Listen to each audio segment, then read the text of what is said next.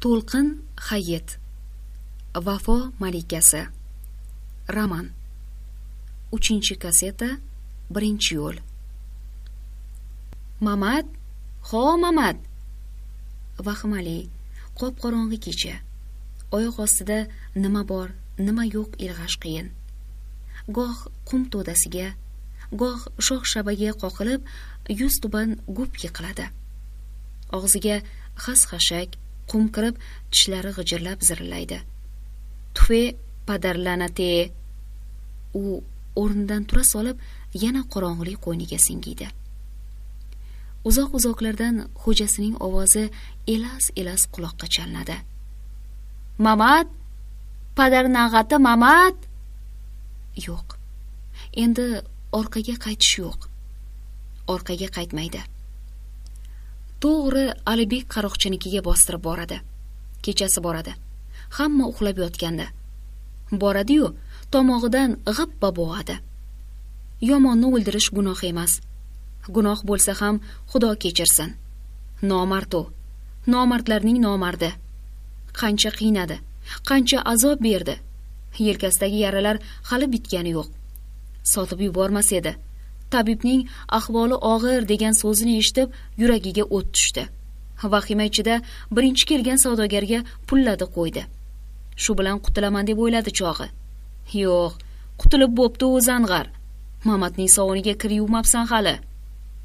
Kun harsillaydi yer ko'ksi qurshab qolgan tap taqir oyoq ostidagi issiq qum oftob kokillarini nahangday yutadi. Bitta yarimta echki emarmi?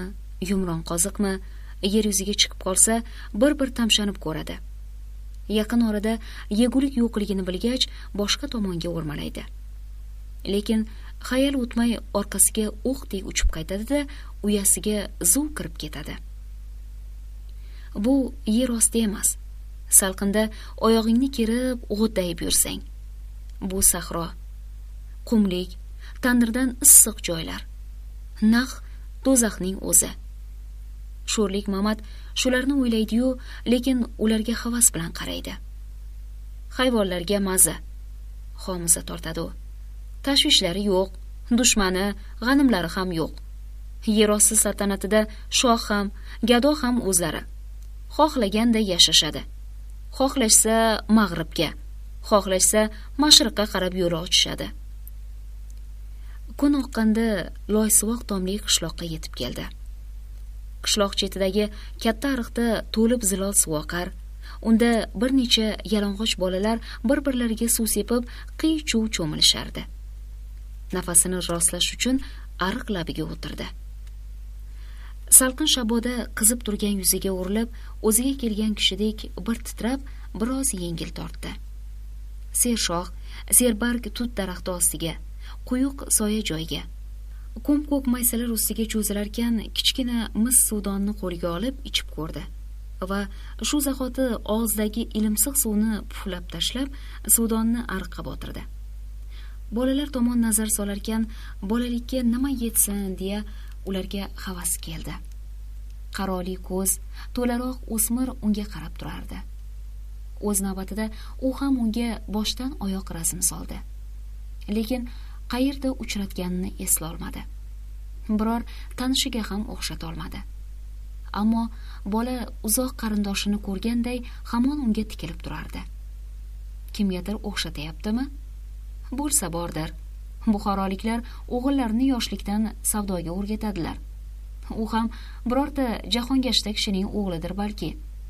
Samarqanddami kesh yo qarshida. Balki termizda uni ko'rgan bo'lishi mumkin. Ot kishnab xayolini to'zg'itdi uning baquvvat oyoqlariga tik bo'yniga ustidagi qirmiz jo'li va egariga qararkan issiqda odam lohas bo'lyaptiyu jonivorning tanasi zirqiramaydimi deya o'ylab unga rahmi keldi. Egarni olib qo'yish kerak ustidan. O'rnidan turib otining yoniga borib yolini siladi. Va katta oq ayilini yechib oftobda yaltirab turgan qizg'ish egarni xuddi shu rangdagi jo'lni olib daraxt ostiga keltirib qo'ydi da boshini qo'yib cho'zildi. Biroz damini rostlab salqin tushgach jo'naydi. Dam olib ko'zi tiniqib kuchga to'lib yo'lga tushsang yurishingda bir ma'ni topasan. Bo'lmasa yo'l azobi go'r azobi deb shaytonga kulgi bo'lishdan nariga o'tmaysan. Qaroli ko'z bola unga yaqin kelib salom berdi. Mamat salomga alik olgach undan qishloqning nomini so'radi. Bumi? Bu buxor zindon qishlog'i? deya javob qildi u. Ot bezovta kishnadi. Ariqning narigi tomonida sirtlon it och sarg'ish yunglarini hurpaytirib turardi. Xayol bilan bo'lib bolaning javobini anglolmay qolgan mamat undan qishloqning nomini qayta so'ragan edi to'pori sodda ko'ngilga tegmaydigan beg'ubor ohangda qulog'ingizga tosh bitganmi amaki buxor zindon deyapmanku dedi ranjigan bo'lib. Mamat beg'araz kuldi. Uning buxorocha shevada deyapmanku deyishini ko'ngliga yaqin olib unga nisbatan mehri oshdi. Uning istihola qilib o'tirmay qulog'ingizga tosh bitganmi deya sodda ohangda jerkishini ham to'g'ri ma'noda qabul qilar ekan ko'ngillari beg'ubor tongday toza o'smirlar odamga ish bo'ladilar deya o'yladi. Bir yaxshilikni istab kelganga o'xshaydi. Uni gapga solish uchun nomini so'ragan edi. Bola otimmi? Otim mamat? deb javob qilganda otdosh ekanmiz deya o'zicha xursand bo'ldi va mehri jo'shib uni maqtadi. Jo'ralaringga qaraganda aqlli bolaga o'xshaysan. So'ng gapini hazilga burdi. Kallang mixda ishlaydi shekilli. Maniki emas ana olim jo'ramning kallasi mixda ishlaydi. Nimaga unaqa deysen? Ko'rib turibmen pishiq bolasen gapga ham chechansen. Bola bu safar sodda ammo tushkun ohangda mendan hech kim qo'rqmaydi da dedi bo'ynini egib. Qo'rqqanda nima qilarding? Deb so'radi mamat qiziqish bilan. Samat o'g'riga qarshi kurashardik. U qishloqlaringda yashaydimi? Yo'q u cho'lda yashaydi. Qishloqqa karvon kelsa yoki chiroyli qizlar bo'lsa o'shalarni o'g'irlashga keladi. Qizlarni ham o'g'irlaydi degin iflos odam ekan. Hoji bobom ham shunaqa deyurlar. Bu gap mamatga ta'sir qildi. Va shu damda yaxshi odamlar kabi uning ko'nglida ham ojiz otdoshiga yordam qo'lini cho'zish istagi tug'ilib uni qay bir yaxshi ishim bilan xursand qilishim mumkin deya turgan joyida bezovta depsindi sandan bolalarning qo'rqishi shart emas tur dedi jiddiy tortib. San shunday yo'l tutgilki hamma sanga ergashsin. O'qishni bilasanmi bilamen. Fotima opam yozishni ham o'rgatganlar. Fotima? Qaysi fotima? Mamatning a'zoyi badani titrab ketdi. Fotima opam deysenmi u kim? Opada u kishi mani opam. Beparvo javob qildi bola. Ayni damda unga mamatning gaplari qiziq tuyulayotgan edi. Fotima opasi haqida gapirish bir tomondan uning uchun ortiqcha edi. Ikkinchi tomondan shunday chiroyli va aqlli opasi to'g'risida begona erkakning oldida so'z yuritishi uyat musulmonchilikka to'g'ri kelmaydigan gap. Bobosi eshitib qolsa darg'azab bo'ladilar. Mamatning badani tosh qotdi. Yo'q uning fotimasi emas bolaning opasi ekan. Fotimasi bu yerlarda nima qiladi? Eh fotima ko'nglining erkasi hozir qayerlarda yuribdi? Nima ishlar qilyapti? O'qishni yozishni o'rganib olganim zo'r ish bo'ldi aka. Mamat yalt etib bolaga qaradi. Nima dedi? Nima haqida gapirishayotgan edi? O'qish yozish? O'qish yozishni bilsang kuchli bola ekansen otdosh dedi uni maqtab. Xursand bo'lsin degan niyatda. Kurashda olimni yiqitganimda kuchli sanalardim. Bola boshini qashidi. Eh sira yiqitolmaymanda u maqtanchoqni. O'shani yiqitishni istaysanmi? Istaymen. Men senga kurashning eng zo'r usullarini o'rgaturmen. Siz a ha men. Nima ishonmaysanmi? Axir men amir temur janoblarining navkarimen. U zotning navkarlari qanaqa bo'lishi kerak? Eshitganmi sen? Bola avvalgiday sodda ohangda qanday bo'lishi kerak? Deb so'radi. Mamat uni qoyil qoldirish uchun amir temur janoblarining har bir navkari mo'g'ul shaytonlarini yengish uchun kamida mingta kurash usulini bilishi lozimdir dedi balandparvoz ohangda. Vaho bolaning soddalarcha hayron bo'lganidan mamatning yana beg'araz kulgisi keldi. Manga nechtasini o'rgatursiz? so'radi u samimiy ohangda. Besh oltitasini o'rganib olsang yetarli. Bitta emas yuzta olimni yiqib tur sen bolaning qaroli ko'zlarida yuksak shodlikning yolqinlari raqsga tushdi. Kurashda uni yiqitsa albatta hamma bolalar unga quloq soladigan bo'lishadi. Ana undan keyin o'sha yaramas samat o'g'rining ko'zini moshdek ochib qo'yishadi. Qarab tursin hali. Indamasa u battol fotima opasini ham o'g'irlab ketishi tayin. Opajonisini o'g'irlab ketsa bolalar oldida rosa sharmandasi chiqadi. Va bunga qanday chidaydi? Qanday chidaydi? Chiday olarmikin? Shu o'ylar qurshovida qolarkan kipriklariga ma'yuslik qo'ndi. Orzusi amalga osharmikin? Amalga oshishi qiyin ov mamat akasi ko'ksini siladi. Issiqni qara? Ottosh yurakni yondiradur bolaning unga rahmi keldi. Yuring aka biznikiga chalob ichamiz. Rahmat uka. Shu yerda biroz nafas olib kunning nafasi qaytgach yo'lga chiqurmen ish ko'p uka. Yurtni bosqinchilardan ozod etmaguncha oyoqni uzatib yotish yo'q. Uyat uka uyat oyoqni uzatib yotish.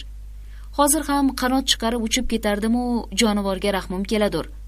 Otning sovushini kutishim kerak. Hali u menga ko'p kerak bo'ladur. Bo'lmasachi aka? Man hozir. Dedi bola parvozga shaylangan qushdek yengil ko'tarilib. Mani kutib turing. Shu yerda kuting. Man hozir kelamen. Mamat xo'p xo'p degandek bosh silkir ekan uning ichishga biron nima keltirmoqchi bo'lganini sezib ichidan quvondi. Yaxshi bolaga o'xshaydi. Qalbi to'la mehr kelajakda undan oqil dono inson chiqadi. Qaytib kelsin unga kurashning sirlarini o'rgatadi. Besh oltita usulni o'rgatsa olam guliston. Bolada mayli o'sha olimni yiqitib g'olib bo'lsin. Buning yomon jihati yo'q. U bilan mushtlashishgandan ko'ra maydonda kurash tushib g'olib chiqsa har jihatdan yaxshi. Bir kun yana olim g'olib kelib shashtidan tushadi. Qaytaga ikkisining ham bir biriga mehri ortadi. Bola bir pasda qaytib keldi. Bir qo'lida sarg'ish dasturxon ikkinchisida kattaroq ko'za. Kela solib dasturxonni maysa ustiga qo'ydi da apil tapil yozdi. Unda ikkita qatlangan non va zangorrang piyola bor edi. Issiq non hidi taraldi. Mamatning ishtahasi ochilib sekin yutindi. Haqiqatdan tushunadigan zo'r bola ekan-ku bu. Bola unga ko'zidan ayron quyib uzatdi. Turli ko'katlar va rayhon qo'shilgan ayron mamatning qaynab turgan ichini muzday sovutib a'zoyi badaniga rohat bag'ishladi. Ana mazzayu ana rohat. Otangga balli bolakay. Issiq kunda muzday ayron ichishdan zo'r yo'q. Shunga aqling yetgani uchun rahmatlar bo'lsin senga ukaginam biroz non yeb ustidan yana muzdek ayron ichib o'ziga kelgan mamat xayol o'tmay o'rnidan turdi da bolani pastga adirlik ortiga boshlab tushdi. Tengdoshlarning ko'rmagani ma'qul. Unga kurashning sir asrorlarini o'rgatsin. Bir zo'r o'rgatsinki bu yaxshiligini bir umr esidan chiqarmasin. Balanddan sharqirab oqib tushayotgan suv adir ortiga qachonlardir ekilgan besh tup sershox chinorning ostidagi ko'lchaga quyilar edi. Nega bu yerda cho'milmaysizlar? qiziqib so'radi mamat e haligi ajinasi bor bu yerning javob qildi bola. O'tgan yili karim podachining o'g'lini chalib ketib ana keyin o'lib qolgandi. O'shandan buyon baqqa hech kim kelmaydur. Xudoning o'zi asrasin biz soyada mashq qilamiz. Qo'rqmaysanmi yo'q. Bola o'sha o'sha soddalarcha qo'l silkidi. Bobom bunaqa joylarda qulfollohni qayta qayta o'qigin jinpin yaqiningga kelmaydur deyurlar. Ichimda hozir o'qib turibmen. Yaxshi unda beri kel. Ishtoningni ko'tarib ol. Mamat oq ko'ylagining yenglarini shimardi. Bilsang ukaginam kurashda kuch emas mahorat kerakdir. Vo shu uchun epchil va chaqqon harakat qilishing kerak. Buning uchun kurash usullarini puxta bilish zarur. Man senga oldindan chil solib yiqitishni o'rgatay. Buni tog'ni itarish deydilar. Beri kel. Oyoqlaringni keng yoz va egil. Butun kuchingni bir joyga to'pla. Yana biroz egil va qo'llaringni raqs tushayotgandek o'ynatib belimni ushlashni ko'zlab kelaver. Qo'llaringni o'ynatsang kuch yig'iladur ko'zingni mendan uzma. Harakatimni kuzat. Endi belimdan ushla. Vo agar chapga yiqitmoqchi bo'lsam sen butun og'irligingni o'ngga tashla. O'ng tomonga bossam teskarisini bajar. So'ng qulay paytni poylab bir siltab raqibni o'zingga tortda boshingni bo'yni ostiga qo'yib orqaga siltagancha chaqqonlik bilan chil sol va butun kuchingni yelkasiga ortib uni zo'r bilan ortga itar. Ko'ribsanki bir zumda uning kuragi yerga tegib ostingda tipirchilab qolganini o'zi ham sezmay qoladur bu mashqni ular yetti marta takrorlashdi. Nega yetti marta? so'radi mamat va javob kutmasdan o'zi ayta qoldi. Chunki yetti raqamida xosiyat ko'pdir. Amir janoblari ham har ishni yetti o'lchab bir kesadurlar. Mamat unga kurashning kalla oshar usulini o'rgatganda bunisi bolaga yoqib qoldi. Va o'zidan bir necha baravar og'ir bo'lgan ustozini bir necha marotaba yerga qapishtirdi. Garchi mamatning o'zi bunga mayl ko'rsatgan bo'lsa da lekin bolada qanaqadir ichki qudrat borligini sezib unga yana kurashning orqadan chil solish o'ng tomondan bel osha yiqitish tuyani chirpirak qilish usullarini ham o'rgatdi. Bola xursand edi. Mamat ham charchoqni unutgan edi. Kech tushganini ham sezmay qoldilar. Quyosh cho'l barxanlari ortiga bosh qo'yganda ular mashqni tugatib avvalgi joylariga keldilar. Yuvinib bo'lgach biroz tamaddi qilib oldilar. So'ng mamat xurjunidan eski bir kitobni oldi va o'rtasini ochib bolaga berdi va o'qi dedi. Bola bismilloh deb pichirlagancha kitobni peshonasiga surtgach o'qiy boshladi. Bismillohi rohmonir rohim jaloliddin rumiy azroildan qochib qutulmoqchi bo'lgan nodon haqida rivoyat. Yaxshilab o'qi dedi mamat. O'zi esa maysa ustiga cho'zildi.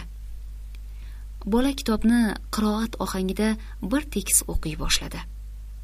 Bir savdogar azroildan qochib sulaymon payg'ambarning oldiga keladi va uni bu yerdan uzoqroqqa hindistonga yuborishni so'raydi. Uning iltimosi bajo keltiriladi.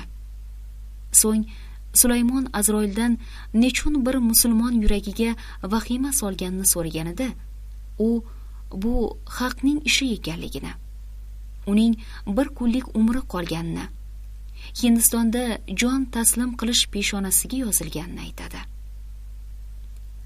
Bola rivoyatni o'qib bo'lgach jim qoldi. Oxirgi satrlarni xayolidan o'tkazarkan haq belgilagan toledan qochib qutulib bo'lmaydi deya xulosa qildi. Lekin ustozining nima uchun aynan shu rivoyatni o'qitganini tushuna olmadi. Tushundingmi ukam? so'radi mamat. Bola boyagi xulosasini aytgan edi uning yuzi charaqladi tushunibdi. Fikrlashi yomon emas. Bo'lmasa gap bunday mamat polvon. Bundan keyin isming mamat polvon bo'ladi. Uka yana ikki uch kun mashq qil. Lekin bu orada hamma bolalarni yig'ib bu rivoyatni olimga berib o'qit. Ma'nosini ham yaxshilab chaqinglar. Agar o'sha olim sani tan olmasa rivoyatni eslat ko'zi ochiladi. Xo'pmi? Xo'p aka. Xudo xohlab ishlarim bitsa man yana kelamen. San ungacha amir temur qo'shinini tuz. Agar hoji bobo bunga yo'l bermasalar amir temurning yordamchilari aytdi degin. Bo'sh kelmagin. Bolalarni yaxshilab tayyorla. Oralarida nog'ora chaladiganlari bormi? Bor. Bor bo'lsa yaxshi. Hoji boboing unga nog'ora topib bersinlar. Buniyam mani nomimdan iltimos qil. Keyin kechasi nog'orachi minan tomda qishloqning kirish joyida uxlanglar. Samat o'g'ri kelsa to qishloq ichiga kirguncha miqilaringni chiqarmanglar. O'tib ketgach shox shabba tashlab chiqish joyini berkitinglar. Baland qilib ana undan keyin nog'ora chalinglar gursillatib qishloq odamlari uyg'onib ularning jazosini berishmasa otimni boshqa qo'yurmen kimdir tashabbus qilish kerakda bu ishlarga. Shu ish qo'lingdan keladurmi? Keladur aka. Yashshavor azamat. Buyruq berishni ham o'rgatay senga. Bunday deb buyruq berasen zafar nishondor amir temur qo'shini saflan. Qani takrorlachi? Bola o'tirgan joyida qaddini tik tutdi. Zafar nishonnor amir temur qo'shini saflan. Yaxshi dedi mamat uning yelkasiga qoqib.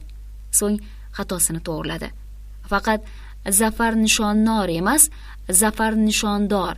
Nishondor degin. Qani yana aytchi? Bu safar bola jaranglagan shirali ovozda so'zlarni donama dona takrorladi. Yana biroz o'tirganlaridan so'ng mamat yo'lga otlandi. Ikki oddosh bir birlari bilan quchoq ochib xayrlashdilar. Bola ertasi tush paytida tengdoshlari yoniga kelib qo'shildi va kitobni olimga ko'rsatib rivoyatni o'qib berishni iltimos qildi. Olim uning ustidan kulgan bo'lib yoqimsiz tirjaydi va rivoyatni sharillatib o'qib tashladi. So'ng xo'sh degandek unga baqrayib qaradi. Ma'nisi ne ekan buning? so'radi bola. Shu ham savol bo'ldimi? rishaydi olim.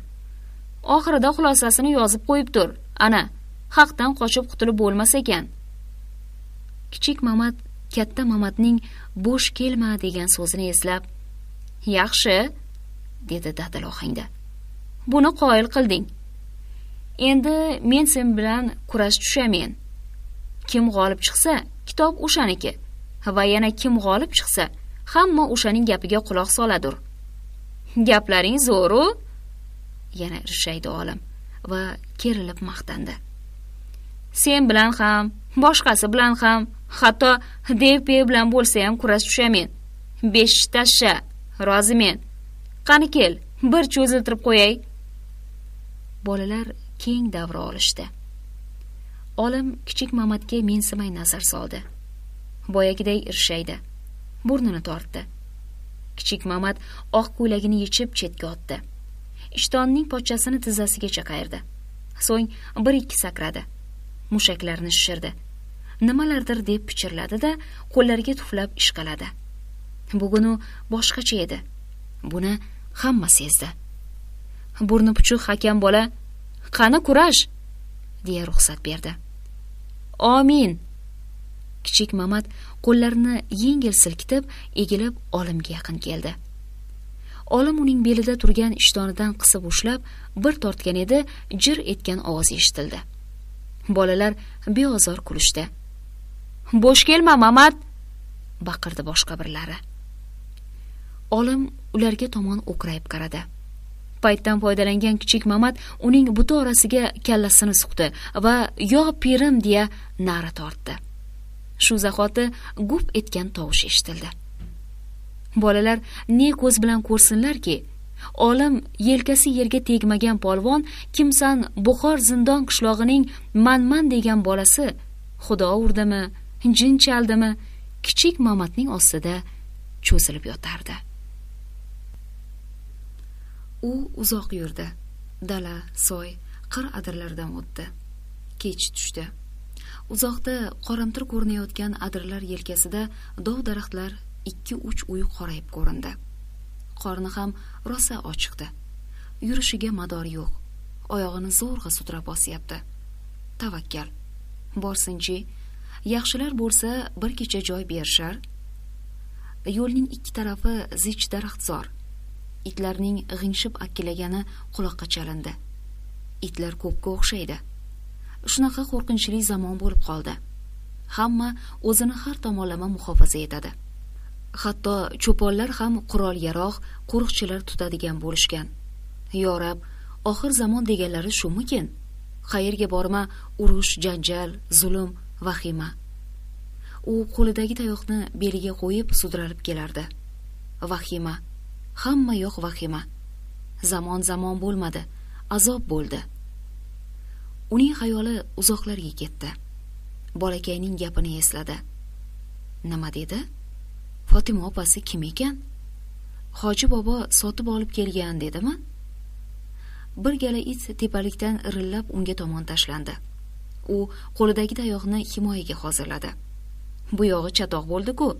Bir ikki uch to'rt oho to'qqizta. Sirtlon itlar.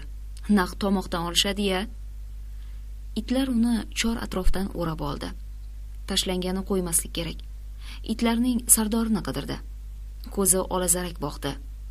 Qani? Qani u topsa bas qutuladi hamma gap o'shanga bog'liq. Boplab ta'zirini bersa hammasi tumtaraqay qochadi. Negaki itlarning qolganlari sardoriga qarab harakat qiladi. U tashlamasdan burun birortasi ham qoidani buzmaydi. Irillab payt boylashadi ularning otalarida ham to'p to'p yuradigan sirtlonlar ko'p edi. Ularning qiliqlarini besh qo'lday yaxshi biladi. Mamat o'zini oy nuri ko'ziga tushmaydigan tarafga oldi. Xudo ko'rsatmasin ko'zi qamashib qolsa bormi? Bir lahza dovdirasang xayr deyaver g'ajib tashlashadi. Bular xonadon itlari emas dasht itlari. Otar itlari. Peshonasi qashqa uzun oyoqli it uning ustiga sakradi. Mamat chaqqonlik bilan bo'ynini egib oldinga intildi va zarang tayoqning yo'g'on uchi bilan ustidan oshib o'tayotgan sirtlonning beliga qattiq zarba berdi. It jon azobida uvlab yubordi. Mamat yashin tezligida qolgan itlarni ko'zdan kechirdi. Endi qanjig'iga navbat? U tashlanadi. Uzunchoq oriq it unga tik keldi. Mamat uning chap tarafiga zarba berdi. It ikki uch metr nariga borib tap etib yerga tushdi.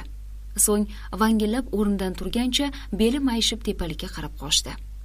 Qolgan itlar bir ikki hurdi da uning ortidan ketishdi. Sardor sirtlon eng oxirida ular ortidan sudralib borardi. Endi uni tan olishmaydi. Uning kattaligi tugadi. Tepalikda qo'lida kamon tutgan ikki norg'ul yigit ko'rinib uning kimligini so'radi. Mamat buxoroi sharifdan kelayotganini adashib qolib yo'ldoshlarini qidirib yurganini aytdi. Bunda yo'ldoshlaring yo'q sovuq tikilishdi yigitlar. Musofirga bir kecha joy berursizlar yaxshi odamlarga o'xshaysizlar. Yigitlar shivirlashib bir nimalarni muhokama qilishdi. So'ng yo'ldoshlaring kim? Ular qayoqqa ketgandurlar deb so'rashdi. Amir temur navkariman javob qildi mamat tavakkal degan xayolda. E shunday demaysanmi birodar? Yigitlar jilmayishdi. Amir temur kecha bu yerdan o'tib ketdilar. Mamat suyundi alibekning changalidan qutulibdilar. Qanday yaxshi. Ming shukur xudoyim. O'tib ketdilarmi? Ham afsus ham sevinch bilan so'radi u. ha o'tib ketdilar. Mamat bo'shashdi. Endi nima qilaman? Hoji bobo bu yil hovlisini kengaytirdi. O'rtadagi g'isht devor olinib ikki hovli birlashtirildi. Bog'ning to'rida ichki tashqi besh hujrali keng gumbazli chiroyli bino qurildi. Hajga borganda makkalik sayyid abrornikida shunday go'zal inshootni ko'rib sog' salomat yurtga borsam albatta bir go'zal bino barpo etaman deya xolis niyat qilgandi. Orzusi ushaldi. Keldi ketdi ko'p. Og'zi uzun mehmonlar tashrif buyurishadi. Bir tomoni buxoroi sharif degan ulug' nom bor. Kelganlar oldida uyalib qolmasligi kerak. Darvozani ham o'sha tomondan ochdi. Xotin xalajning nomahramlardan uzoq bo'lgani yaxshi. Hoji bobo hansirab turgan mamatga boqdi va tinchlikmi? deb so'radi. Bola notanish otliq kelganini aytdi.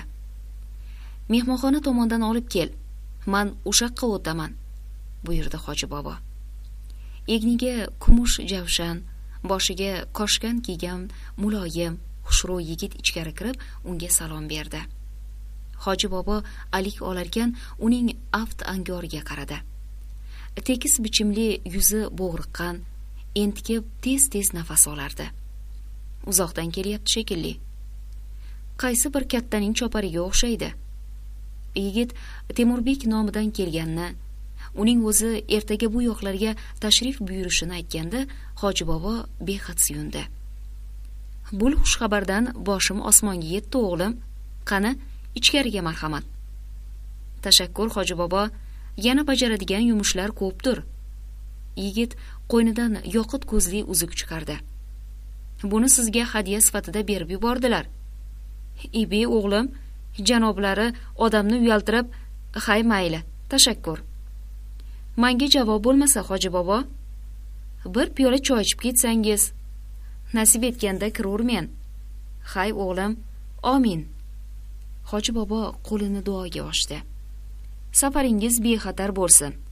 Alloh taolo sizni yomon ko'zlardan o't balosi suv balosi g'anim xuruji shayton vasvasasidan o'z panohida asrasin. Omin omin yigit yuziga fotiha tortgach qo'lini ko'ksiga qo'yib tashqari chiqdi. Hoji bobo ham uning ortidan yurdi. Hay o'g'lim otingiz nima edi? Xotam ajoyib otingiz bor ekan o'g'lim. Doimo xotami toy bo'lib el ardog'ida yuring. Xotam o'ynoqlab turgan jigar tusli saman otga irg'ib minarkan rahmat buva rahmat dedi jilmayib. Ichkari kirgan hoji bobo mamatni yo'lakdagi guldor qo'sh tabaqali eshik o'rnatilgan chog'roq hujraga boshladi. Hujra devorlariga yashil tusli naqshlar solingan. Tokchalar to'la kitob xontaxta ustida ko'zacha choynak piyola. Qani o'tirchi bolam. Omin. Xudoyim bandalarini o'z panohida asrasin. Mamat boshini ko'tardi. Hoji bobo kulimsirab mamat polvon degan nom olibsiz o'g'lim. Muborak bo'lsin. Qulluq hoji bobo sizga xizr yo'liqqan emish bizga aytmaysiz ham u xizr emas. Odamlar aytyapti-ku. U mamat degan yigit shakkoklik qilma bolam. Hoji boboning oppoq quyuq qoshlari ko'tarilib tushdi. Xizr alayhissalom bolam xohlagan suratda ko'rinadilar. Shak keltirma bunday. Mani kechiring bobo bunisini eshitgan emasman. Shuning uchun og'zingga kelganini so'ylayverma bolam. Til suyaksiz erk bersang aylanaveradi. Nima bo'ldi o'zi? Aytib berchi. Mamat bo'ynini egib so'zlay boshladi. Cho'milib turuvdik bir chiroyli odam paydo bo'ldi. Odammi yigitmi? Yigit. Shunday demaysanmi? So'g'inchi? So'g'in mani chaqirdi. Boshqalarnichi? Man unga qarab turuvdim xo'p so'g'inchi? So'g'in oldiga bordim. Man senga kurashni o'rgataman dedi. So'g'in peshindan asr namozigacha yotib otar olishni o'rgatdi. Birpasda o'rganib oldim yana shak keltiryapsan. San emas xizr alayhissalom nafaslari tufayli tez o'rgangansan. Mamatning uzunchoq yuzi cho'g'dek qizardi. So'g'inchi?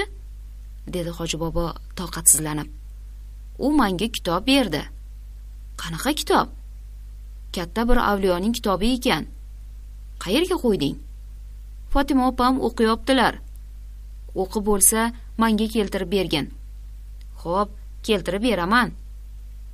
So'g'in yana nima bo'ldi? So'g'inmi? So'g'in amir temur lashkarini tuzamiz dedi. Mani sardor bo'lasan dedi. Lashkar nimaga kerak ekan? Samat o'g'rini tutgani. O'sha g'addorning kapasini kuydirish kerak. Sizlar uni tutasizlar deb aytdi. Nima dedi? Nima dedi? Sizlar uni tutasizlar dedi. U bachchag'ar tamom bo'pti. Chumoli sherni yenggan ekan. Azroilga bahona kerak. Bobongga ayt nog'orasini ramazonga bersin dedi. Hoji bobo o'zini orqaga tashladi. Yo xudo yo xudovandayu karim. Nog'orangizni berasizmi bobojon?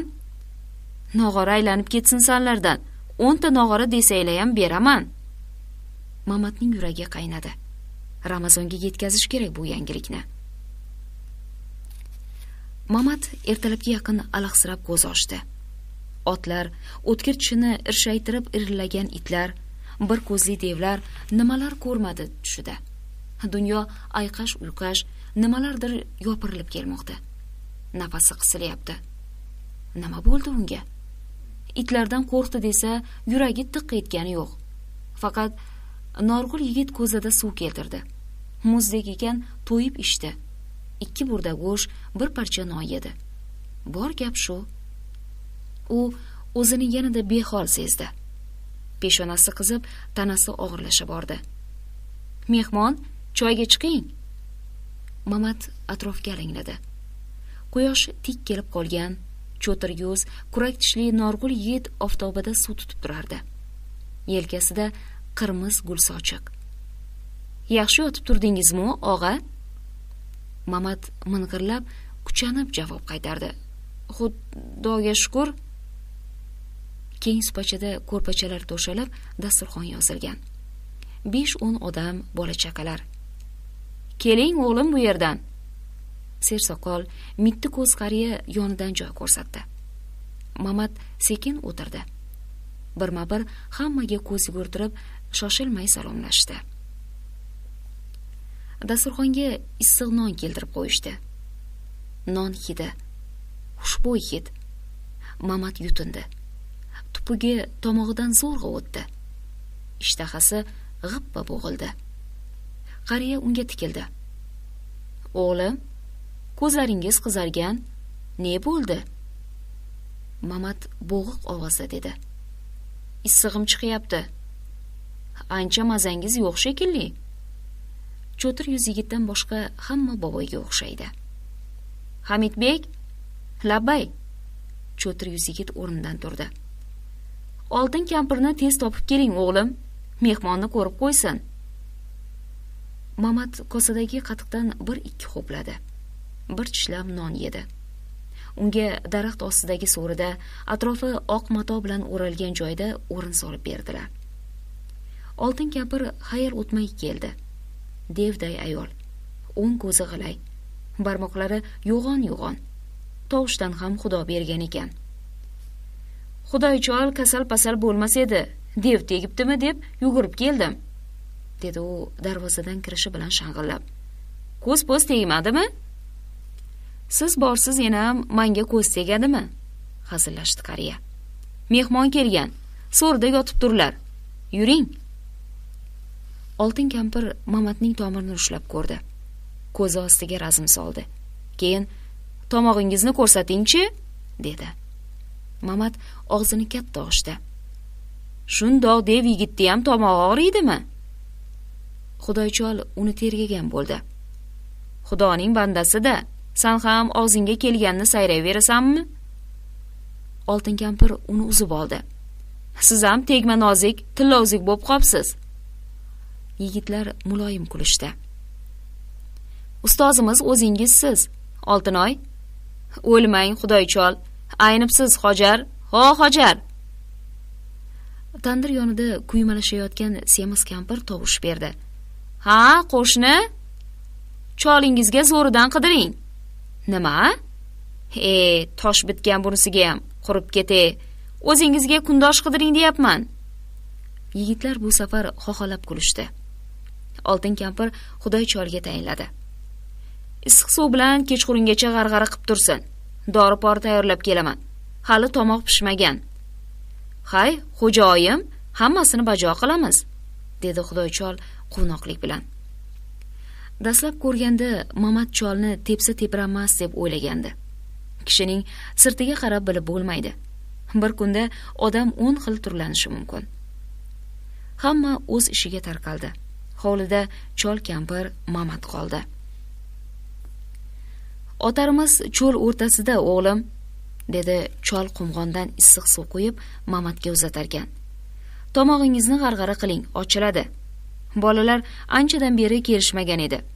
Ikki suruv qo'yimiz ham bir oyki shu yerda edi. Qariganda shovqin suron yoqmas ekan. Hammasini jo'natdim. Qarilikning gashtini ham suraylikda o'g'lim. Tiriklikning gashtini surishi ham kerak. Buva temurbek ham shunday dedilar. Juda baodob amir. Siz u kishi bilan ko'pdan tanishmisiz? Otalari muhammad tarag'ayning suruvlarida bosh cho'ponlik qilganman. Temurbek bir kirib o'tdilar. Shoshilayotgan ko'rinadilar. Siz u kishining navkariman dedingiz a ha shunday. Mamat boshdan o'tgan voqealarni birma bir gapirib berdi. Olloh deng bolam. Chol unga mehr bilan ko'z tikdi. O'zi g'am beradi o'zi oladi. Otangiz aka ukalaringizni kelinni albatta topursiz. Ko'nglim sezib turibdi. Qaniydi ularni topsaydim buva? Siz bu yoqqa temurbek u yoqqa. Yo'lda to'qnash kelmabsizda. Man dala dasht cho'l orqali keldim. Tezroq oyoqqa turib ortlardan yo'lga tushsaydim topib olardim. Topasiz ularni. Albatta topasiz bolam. Kechqurun oltin kampir keldi. Ancha shang'illab gurung qildi. Mamatga achchiq dori ichirgan edi birozdan so'ng issig'i tushdi. Keyin nordon suyuqlik berdi. Oqimtir rangda ishtaha dori ekan. So'ng qo'lini yaxshilab yuvdi. Qo'y yog'ini o'ng barmog'iga surtdi da mamatni bir chekkaga olib chiqib tiz cho'ktirdi va tomog'iga qo'l tiqdi. Qo'li toshdek bo'lsa kerak deb o'ylagandi. Ipakdek yumshoq ekan. Tomoqning ikki tomonini avval sekin sekin uqaladi. Pishibdi dedi. Hozir qutulasan bolam. U shunday deya barmog'iga kuch berdi. Mamat tomog'iga yopishib turgan zulukni uzib olgandek rohatlandi. Tufla bolam. Dedi oltin kampir. Qutulding. Mamat o'qchib tufladi. Oq qora zardobli qon balg'amdek laxta laxta bo'lib oppoq tuproq yuzini rasvo ayladi. Ertalab ko'zini ochganda tanasi qushdek yengil nafas olishi erkin edi. Xudoga shukur ey sog'liqqa nima yetsin? Chol bilan qiyma sho'rva ichishdi. Uzoqqa ketasiz o'g'lim to'yib oling. Dedi xudoychol mamat mamnun edi. Yaxshilar bor bo'lsin. Qanday odamoxin chol ekan. Temurbek janoblarining oshnolari ham o'zlariga o'xshaydi. Xudoychol bog' tomondan qora yolli oq ot yetaklab keldi. Bu sizga yo'ldosh o'g'lim. Mamat o'ng'aysiz ahvolda qoldi. Mani qarzdor qilyapsiz otaxon. Bu qarz emas o'g'lim. Sizlar shu yurtning tinchligi ozodligi deb yuribsizlar. Sizga bir emas yuzta ot bersam ham oz. Kampir katta olahurjun keltirdi. Chol unga oltita kulcha non go'sht mayiz ikki hovuch qurut soldi. Yo'lda yeysiz bolam. Rahmat sizlarga. Rahmat buva. Mamat xurjunni otga ortgach buvani quchoqlab oldi. Xayr otaxon ko'rishguncha. Xayr bolam. Yo'ling oq bo'lsin. Kampir bir hovuch unni uning yelkasiga otga separkan eson omon yetib olgin bolajonim dedi onasi kabi ko'ngil uzolmagan bir ohangda. Mamatning butun tanasi titradi. Buncha yaxshisizlar odamlar har kuni burni ostida pachakilashib yuradigan mamatvoy uch to'rt kundan buyon qorasini ko'rsatmaydi. Goh buvasi atrofida o'rmalashadi goh qayerlargadir ketib qoladi. Allaqanday qo'shinga sardor bo'lgan emish. Undan ko'ra kitobini o'qisachi o'n ikkiga kiribdiyu hali bitta doston bilmaydi. Fotima shu o'ylar qurshovida diqqi nafas bo'lar goh turib turib kulib yuborar. Goh do'ppaygan qorniga qarab o'zini o'zi koyirdi ko'p diqqi nafas bo'laverma kelin poshsha. Mana bu poshshayu olamga yoqmaydi bu qilg'ing homila birdan qimirladi. Bu unga allaqanday huzur bag'ishladi. Katta bo'lib qolibdilar. Endi qiliq chiqara boshlaydilar. U ko'rpachaga yonboshladi hoji buvaga rahmat. O'sha azroilning qo'lidan necha oltinga sotib oldi. Ziqnalik qilmadi. Bir ko'rdi-yu oldi. Homiladorligini bilib qo'lini sovuq suvga urdirgani qo'ymayapti. Mamatga tahsil bersangiz shu kifoya deydi. Yaxshi odam. Uchinchi kasseta birinchi yo'l tugadi.